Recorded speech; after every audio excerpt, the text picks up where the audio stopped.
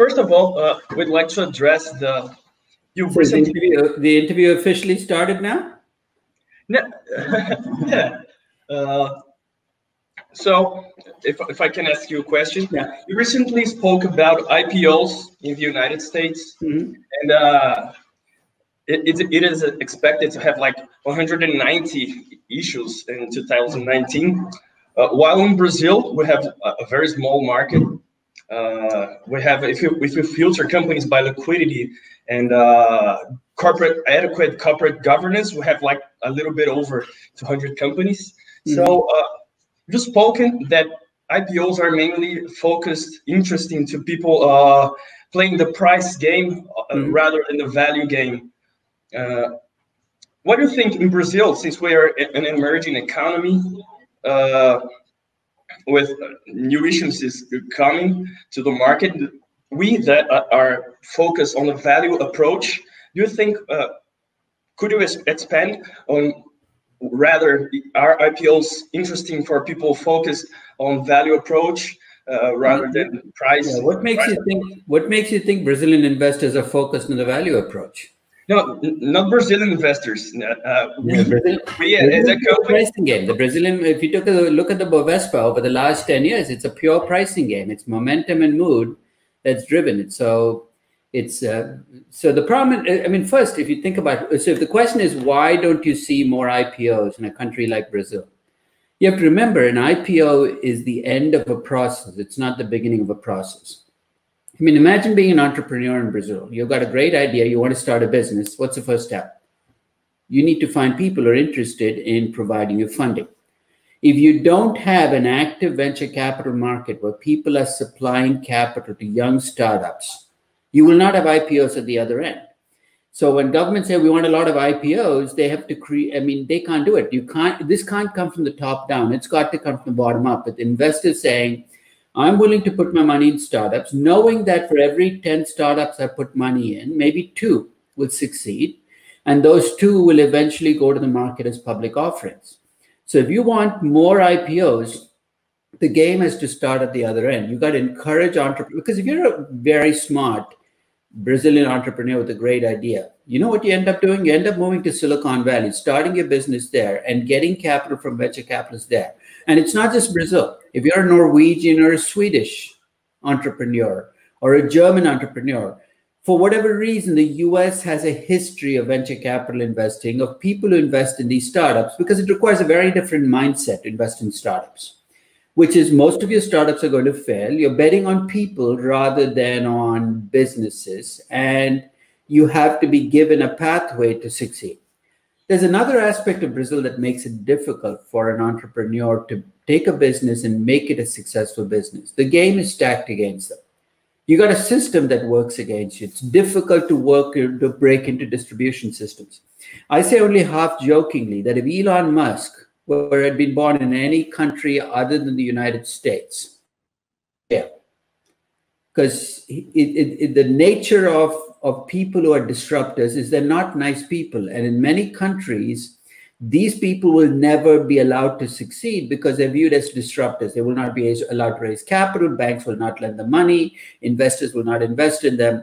You need to be willing to live with people who basically live on the edge. We're not people you would think of as good, upstanding citizens. They're, they're people who push the envelope, who take risks, who do things that disrupt the status quo.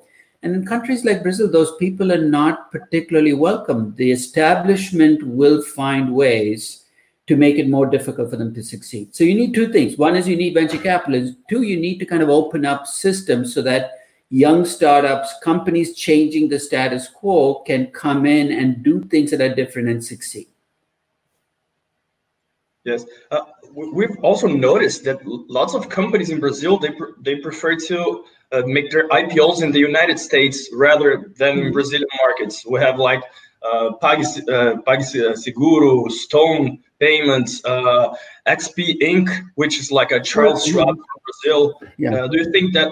You know what? That that shouldn't bother you because as long as these businesses stay Brazil focused, Brazil is getting the benefits of the capital. You should think of this as a good thing. Brazil is an emerging market. Investors in developed markets want to find growth. Guess what? Your best growth opportunities are often in Brazil and India and China. So I don't have a problem with them making their IPOs as long as they follow up by having a listing in Brazil, allowing Brazilian investors to also partake in the equity. So I think it's true. You want to go where there's more liquidity. And the reality is the US market is the deepest and widest and most liquid market in the world. So if you want, Alibaba made its IPO on the NASDAQ. It didn't make it in China. And China is a big liquid market, much more so than Brazil. You get a much more diverse global, because you don't get the US investors when you list in the US, you get global investors. So what you're doing as a Brazilian company is you're saying, look, our value as a company is going to be greater if our investor base is global rather than just Brazilian. We're going to go to a market where we're more likely to attract global investors. Because if you list on the Bovespa, the reality is I, as a US investor, will be unable or it's much more difficult for me to invest in a Brazilian startup than if that same startup invests in the US. So basically, any global investor who's interested in partaking in, in Brazil's growth in the future has, has a better chance of doing it if that company is listed and traded in the US. Eventually, you want the liquidity in Brazil to get rich enough but for that, the market's got to open up. It's got to allow foreigners to invest. It's got to have fewer restrictions on people who are not Brazilian investing in Brazilian stocks. Make it easier. That process is still messy. If I try to buy a stock on the Bovespa in Sao Paulo, it is incredibly messy for me to kind of go through that process. It's not as simple as getting on Schwab and say, buy a thousand shares of Vale. It's much easier for me to buy the Vale ADR than it is to buy the and that's true across the world. It's easier for people to buy the Vale ADR than it is to buy the local listing. So I think that if if Brazil wants IPOs to eventually list in Brazil, it's got to start opening up its domestic market, reducing the rules and regulations and tax burdens that you impose on investors investing in that market. And one day you're going to find more IPOs listing in Brazil than in the US. Talking about, still talking about IPOs, one trend we've been seeing either in Brazil or in the US that there are companies that are not exactly tech companies, but they claim they are tech companies, mm-hmm. uh, perhaps for increasing its value. Like, for instance, we have Uber and WeWork. And uh, mm-hmm. do you think that uh, that those companies are being uh, very uh, framing. I mean, if you're single and you go to a bar and you meet someone you like, you claim to have a great job, mm-hmm. and you claim to make a large income, and you claim to live in a big house. Mm-hmm. It's it's it's the nature of the process. They're framing it, and if you fall for the framing, I think it's your fault. I mean, I mean, it, you, Uber can say whatever it wants, but if you take an Uber ride, you know this is not a tech company. It uses technology to connect you with a car service so I think if investors want to believe it's a tech company, I blame investors, not the company. The company is doing what it's supposed to do, which is framing itself so it gets the highest price. It's your job and my job as investors to make sense of is WeWork really a tech company? Is Beyond Meat really a tech company? Is Uber really a tech company? And none of those three are really tech companies. They use technology to do the businesses they're in, but they're in the car service business, the food business, and the real estate business. What do you think about the, the IPO of WeWork, for instance, that is currently on the trend? Well, this is what happens when you have a business that you've built on what I call a knife's edge. The basic problem that WeWork has is a very simple real estate problem. They lease properties for 15, I don't know, they probably are in Sao Paulo, right? I mean, they probably, there's a WeWork yeah. building, really. We are currently This building a we, the building you're in is a WeWork building? Okay. Yeah. So find out what the contract. My my sense is they probably lease the building for 15, 20 years. And then they rent out offices to people like you for days, weeks, or months. So basically, the mismatch is their commitment runs 15 years, but the the, the customers they get are contracting for one month, three months, six months, often small startups which are trying to take advantage of the fact that you can rent space in the short term. You're saying, what's wrong with that? All you need is an econ- is a recession. Because what happens in a recession is young startups stop starting, and then all of a sudden your customers all leave. You're still stuck with the contract.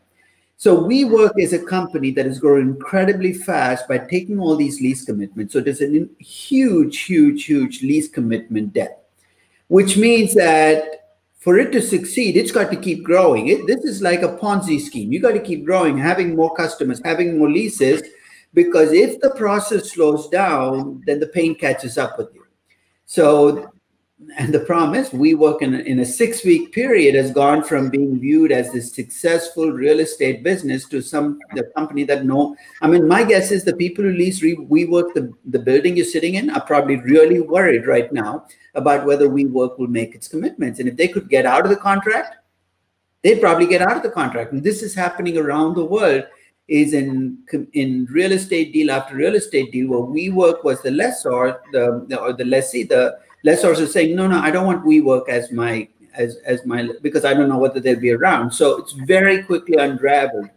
And part of the reason is they tried to grow too fast and took on too many commitments, and now they're all catching up with them.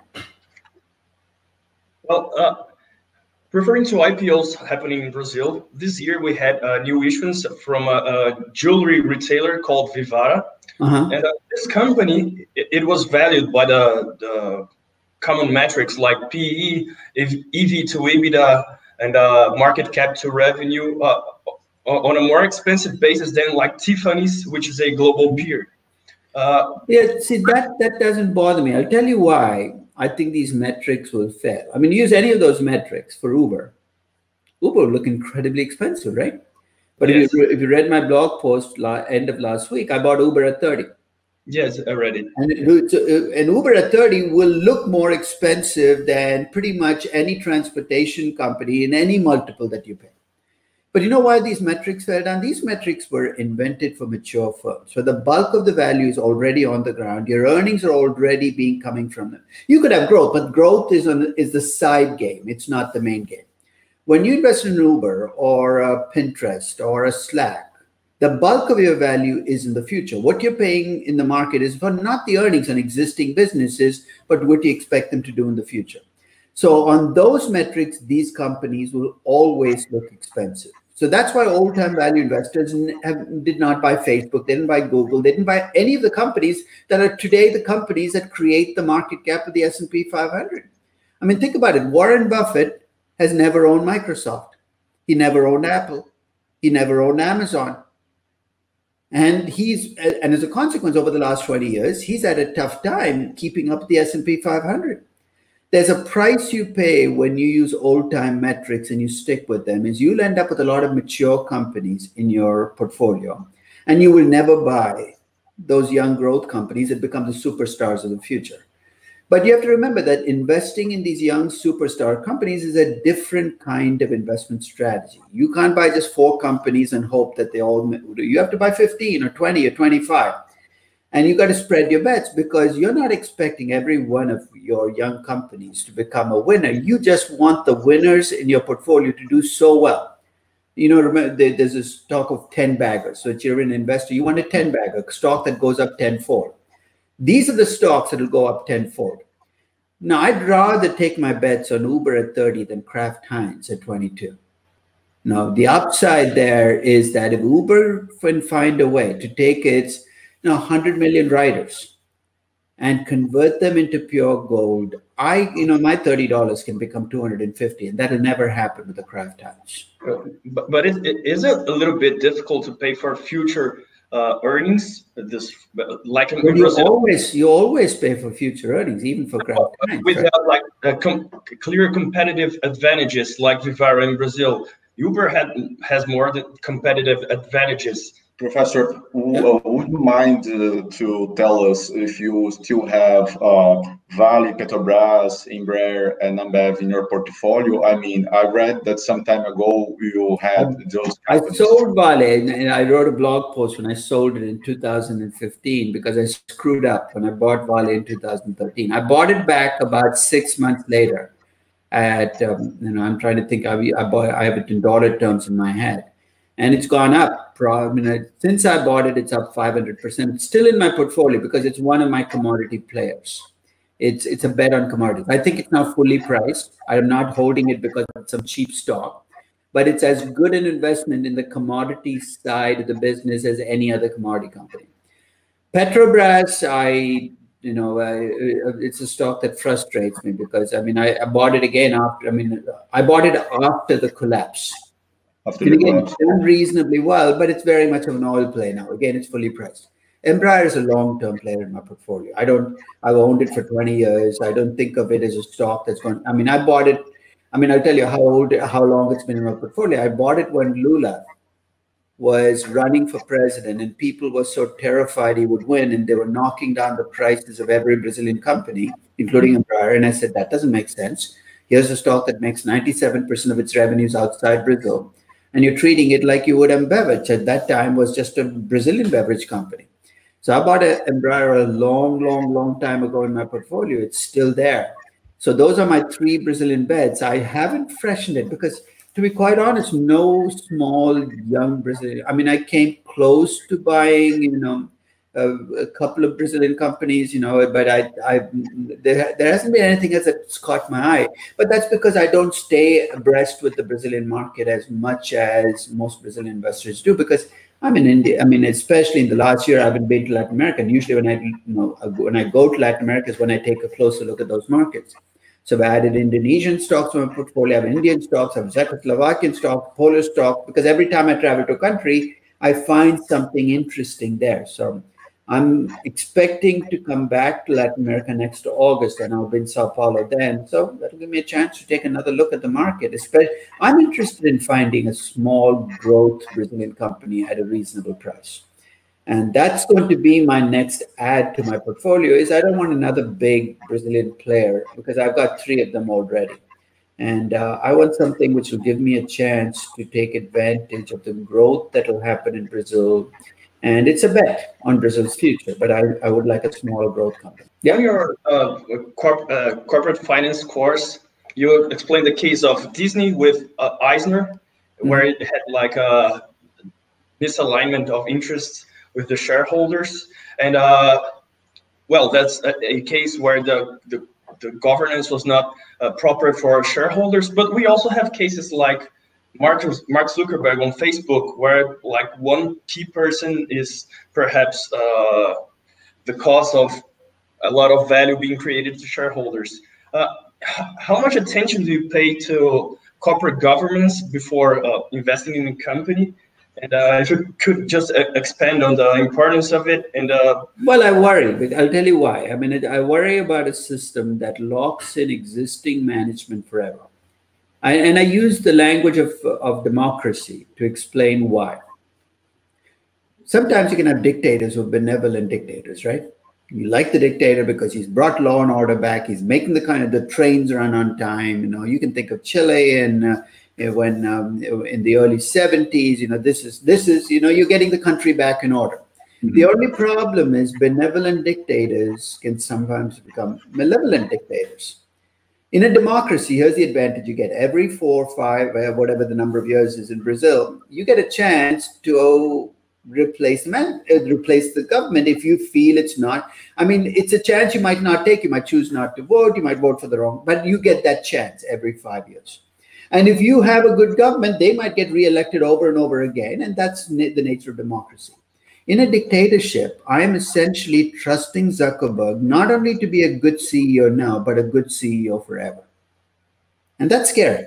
And that scares me. How much would I discount the value of Facebook for it? It depends on how, you know, how much he throws his weight around. And to be honest, I like the way Zuckerberg has worked with Facebook. He's not taken things he's not done things for per, i mean you don't see him doing things because personally he feels it, it, it for an ego boost right? There are some ceos that i'm going to do this acquisition because it makes me feel better.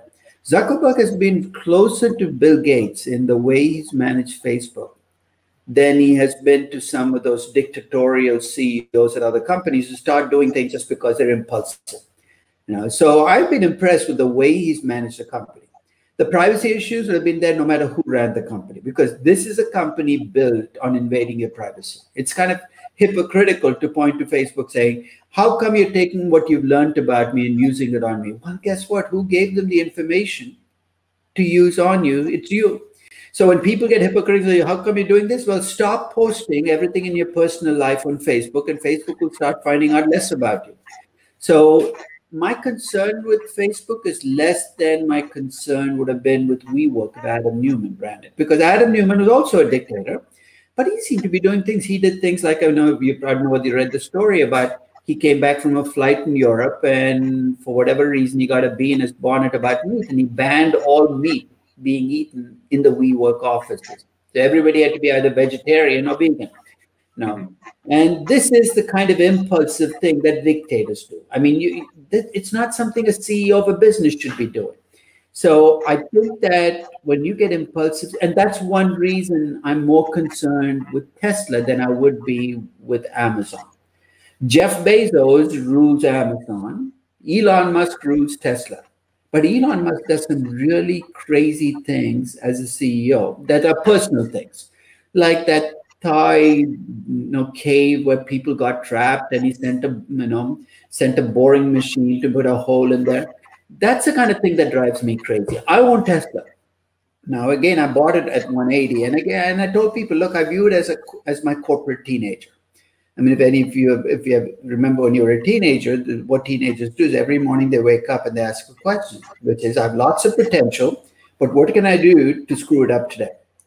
They do things that are really stupid, and Tesla strikes me as a corporate teenager. So it worried me. And for a long, re- long time, I think it held Tesla's value down. So when I valued Tesla, I had to bring in Elon Musk unpredictability. He is he you can't remove him. He he is Tesla he is the visionary who built Tesla. So I think he's done a lot of good things. But he also is has all his weaknesses as a human being play out as a corporate CEO. So I think it depends. I mean, some corporate CEOs are very less. I, I I would say corporate governance is more than just about the CEO, right? I mean, it depends on where the power lies. I mean, if you read my post, I wrote it about four years ago, five years ago, at the very bottom of Petrobras, where I took a, took apart why how Petrobras went from being a $200 billion company to a $10 billion company. Exact opposite of what it's supposed to do. One of the things I pointed to was that its corporate governance was driven by who managers thought they had to keep happy. And what managers at Petrobras realized was they didn't have to keep stockholders happy. They had to keep people in Brasilia happy to hold on to their jobs. So guess what? they delivered whatever the people in Brasilia wanted, which was go, go bore for more oil, become the biggest oil company in the world, even if it didn't make sense. So corporate governance is more about you know entrenching CEOs and more and, and less about entrenching CEOs, more about who do CEOs want to keep happy? And at Facebook, at least, my sense is Zuckerberg really cares about the stock price, whether it's for personal or selfish reasons or for the, the public good. Doesn't really matter to me because if he cares about the stock price, I'm going to benefit. So as a Facebook stockholder, I, I'm glad he's focused on increasing the stock price. But if he loses that focus, then I worry. We in Brazil right now we are going through a a tenuous political moment with a, a pension reform where like our social security system is not uh, sustainable in the long term. Uh, and uh, it, it's perhaps causing outflows from uh, from foreign investors or maybe uh, repelling from money coming in. Do you think it, it's a true statement? Uh, Let's go all the way back to 2013. Every year, you have a different reason for me to hold hold back from investing in Brazil, right? In 2014, 2015, the car wash, then the 2016, another election. Let's wait for the election you know what? You can't wait. Brazil is an emerging market. You're going, and it's a democracy, which also means that you don't get predictability. You're going to get, so this passes, you think there won't be something else next year that comes up. For people who want to wait for complete stability in Brazil, you're going to be waiting a really long time. I mean, I invest in India too. India has its issues now. It's got political issues, it's got economic issues if now you're right brazil does have a long-term social security problem and it's been 30 years in the making right because government after government has allowed this to continue because there are a lot of voters who get that that social security and if you cut it you're going to lose a lot of votes so this is not a problem that started last year it's a problem that's been decades in in the process of building and it's always going to be painful. It's like ripping off um, a scab, right? You can rip it or a band-aid. You can rip it off slowly. You can rip it off fast. Whatever. My only advice is do whatever you're doing. Do it fast. Get it over with. I mean, it's just um, the longer you let this continue, the less the less good comes out of it. So, uh, I, but to me, it's it's not going to stop me from investing in Brazil because the reality is, when this passes, there'll be something else, and then something else, and the next election is going to be here, and then something else, and then something else. This is this is emerging market for you. One more question, if we still have time. Yeah. Uh, we've been seeing a, a, global trend of falling interest rates, uh, sometimes negative interest rates. Even in Brazil, we have this trend right now uh, it's, it's, expected to we reach the zero, uh, close to zero the next in the next year.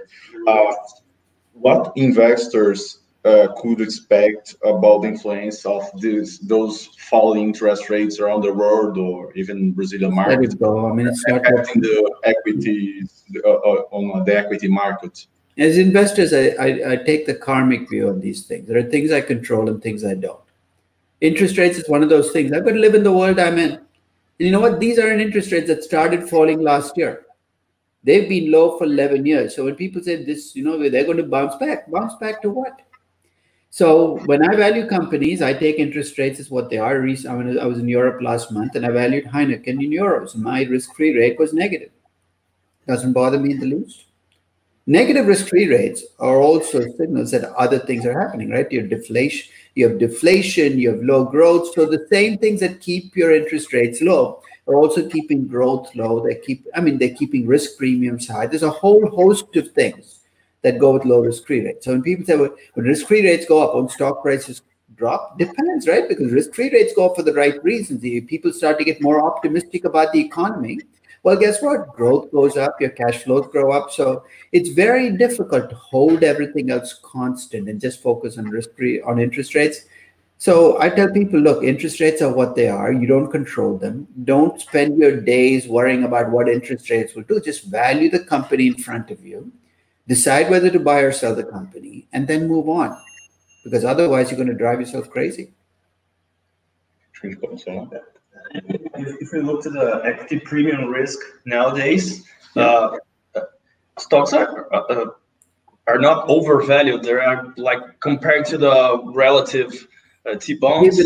but always add the conditional statement. Given the cash flows that they're creating right now, they don't look overvalued. So when people say there's a bubble, they've got to make a stronger case. And the only way you can make a case that stocks are in a bubble is you got to show me a scenario where earnings collapse, which could happen, and then companies pull back on cash flows, which in the US is stopping buybacks. And if that happens, stocks would very quickly go from being okay to being overvalued. But people who make, uh, make arguments for bubbles need to do their homework. They can't be lazy and tell me, oh, there's a bubble because stocks have been going up for a long time. It seems to be the essence of some argument or the PE ratio is high. So what? The interest rates are low. So you can't just make that argument. You've got to make a stronger argument about economic growth collapsing. And right now, people say, oh, global growth is getting lower. Okay, now you've got to make the link. If that happens, show me that earnings will drop. And if earnings drop, show me that cash flows will drop. And if you can make all those links, then we can talk about stocks being overvalued. Yeah, good because it's a, a, misconception in Brazil. They just look at like the S and P 500 more than tripling in the last ten years. Earnings and cash flows have also tripled. Exactly, the fundamentals like a, you know, they were up too. So. it's a relative statement, right? So that's why you can't just look at the graph of stock price. They look, they're up 300 percent. Therefore, stocks must be over, overpriced. Well, not necessarily. If earnings went up 300 percent and cash flows went up 300 percent, everything's you know scared up how can they be overpriced? Yeah, and if you get like the earnings yield, like the inverse of yeah. PE, and compared to yeah, exactly. Yeah. Uh, so, I mean, I think people make lazy arguments, and some of these people have Nobel prizes. So just because somebody has a Nobel prize doesn't mean that they can't be lazy. Also, in Brazil, we have a history of high interest rates, so we have lot of the population that are uh, used to just live through fixed income and now, this, you know what? Inflation is deadly for equity. If inflation in the US went to double digits, equities would die. It's just the nature of the game, right? Because when you have high inflation, what's your first priority as an investor? What do you have to do? You have to protect yourself against inflation, right? Everything else becomes secondary because if you have 30% inflation, you don't protect yourself, you can get ruined in no time at all. So as inflation rises, you are going to get people going to fix deposits, money that's guaranteed. So it's not their fault. I don't blame them. That's exactly what I would do too with 50% inflation. I'm not investing in equities. But but do you think like the, this this tendency of low interest rates that that it may propel people to invest more in equities? No, inflation. The interest rates are don't let it distract you. It's inflation worries that will always drive investors. If interest rates are low, but they're somehow kept, you know, they they they're much lower than inflation, you've still lost the game, mm-hmm. right? That's true. Because they will then go to other assets that will protect them against inflation. It might be real estate, it might be gold in, in India. That's a standard fallback. So I think you can't artificially force people into investing in equities by keeping interest rates low.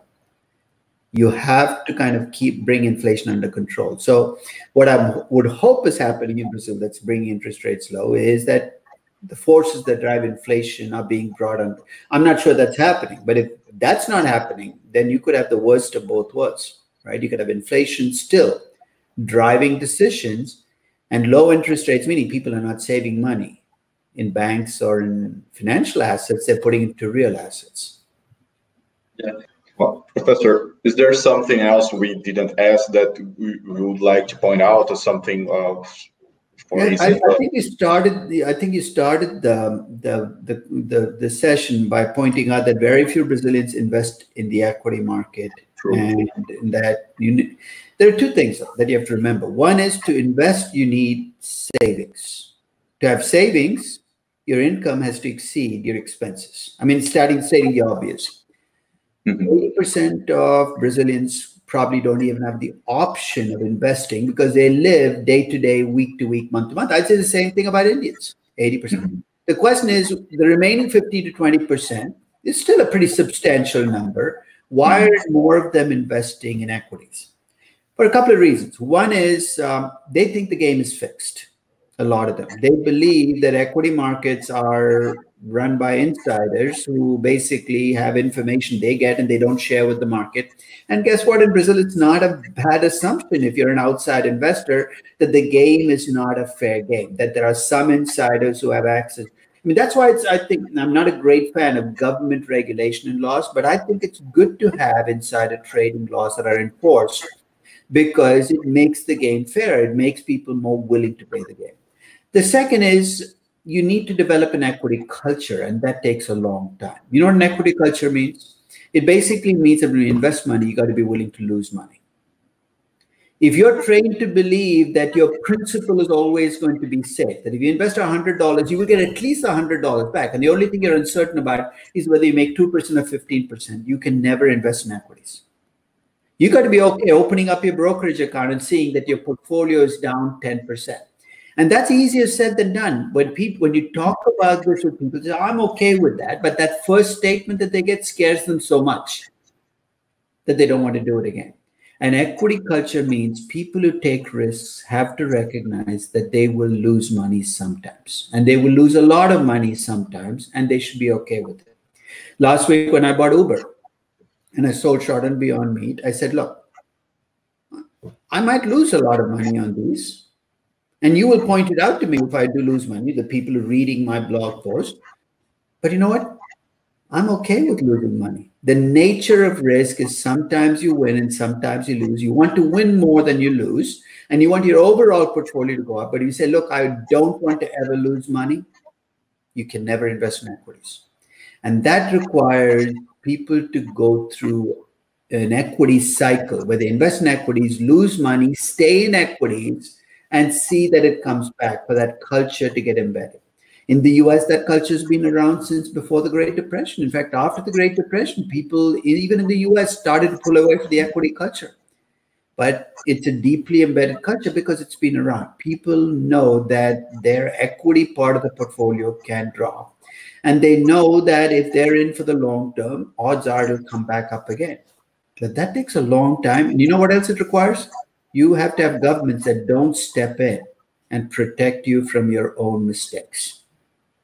You know, it's um, and it's, it's a problem in the Middle East. People, you know, when I talked to Saudi, the, somebody in the Saudi Arabian government, they said we have to train. We have we want an equity culture in Saudi Arabia, and I said if you want an equity culture in Saudi Arabia, stop bailing out investors every time the equity market drops. Because when the equity market drops, the Saudi government actually steps in and provides price support so that investors don't lose more money. That's not a uh, way to build an equity culture. You got to let people live. It's it sounds cruel, but even middle class investors, if they take their money and put it in one stock and they lose it all, you got to say, you know what, that was terrible. I feel, you know, I feel awful. And you might feel awful, but you can't step in and say, well, we're going to give you 50% of your money back because this was your entire savings. You got to let people live with the consequences of their mistakes, which means you can't act like a like a parent. These are not kids they're grown ups making investment decisions. Let them live with the consequences. I think that there's a, a notion in Brazil. People look to stocks like they were lottery tickets, and uh, then the, it, it, makes them less susceptible to uh, go through you this. That's fine. There are people in the US who think of stocks as lottery tickets as well. You know how they learn their lesson is when they don't make the big lottery winnings. You know, you live and learn though there will always be a subset of investors who think stocks are gambling and gambling I mean, a day trader he's not investing he's gambling he's gambling on pricing momentum am i going to stop them no because they're the liquidity that allows me as a value investor to be able to buy uber you need people who think they can make a lot of money quickly to be in the market to provide liquidity and i don't so i, I view them as doing a service for me so don't try to talk them off the ledge. Let them do what they're doing because you're not going to be able to change their minds. They might they're convinced that they can quadruple their money in 15 minutes. Let them do it. They're exactly if every investor were a long time value investor, markets would die. There'd be no liquidity, there'd be no trading. You need people, which tells you what? That most people in markets are not investors, they play the pricing game, they're trading.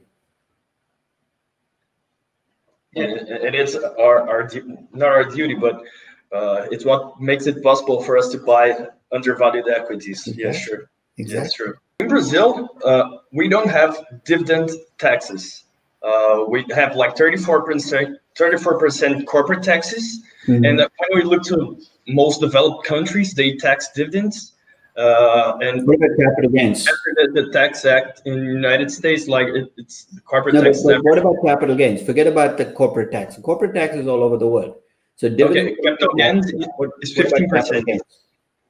It's fifteen percent Brazil. Fifteen percent. Yes. It's but a, do you think? Yeah. Go ahead. Uh, sorry. Do you think having higher corporate taxes and not taxing dividends, uh, like, uh, is not an incentive to reinvestment? for, for the, I don't think that's the issue. I think it's just an extension of what you said earlier, which is how do Brazilians invest? They invest for income, right? Because that's how you cover inflation. They want a fixed. So you go to a bank, you get a 15% interest rate. They're used to collecting the income. So I think the government is operating under this misguided view that if they make stocks look like fixed deposits, that people will like stocks, which is a terrible way to think about equities. You know who's hurting? It's hurting young growth companies. You ask me how come there are not more IPOs in Brazil? If people expect you to pay a big dividend, that's why they buy stocks. Why would I ever, as a young growth company, list myself in Brazil? What Brazilian investor is going to buy my stock if I told them, look, you know, I've got negative cash flows for the next 10 years. Not only will I not be paying you a dividend, but I'll keep issuing shares the typical Brazilian investor who's trained to collect cash flows and dividends every year is going to say, You're a terrible company, go away, which means Facebook, Google, Amazon, Apple would never have made it to becoming who they are today. So I think it's a reflection. Inflation leaves deep wounds.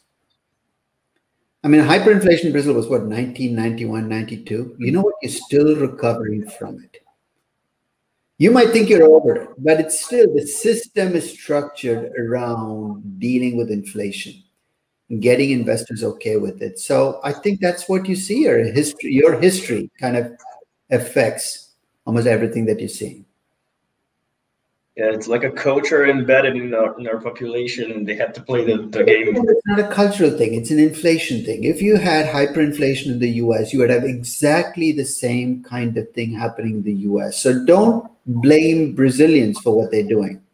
Blame what happened in your economic history for why Brazilians are where they what they are because it's so easy to say well culturally we're not long term we're all short we're all impatient. I don't like that. I think investors all over the world have a distribution. There are long term investors in brazil and there are short term traders in brazil. There are long term investors in the us and short term traders in the us so i think it's not a cultural thing. It, you are a product of your history. And brazil has an economic history that has left a lot of deep wounds on investors so I never blame investors for what they do. I look at the history and say, I understand why you're doing what you're doing, but it's hurting you now because of that. So I think you got to cut some slack for Brazilian investors. That's such a great point of view. It opens my mind. Uh, I thank you so much. Uh,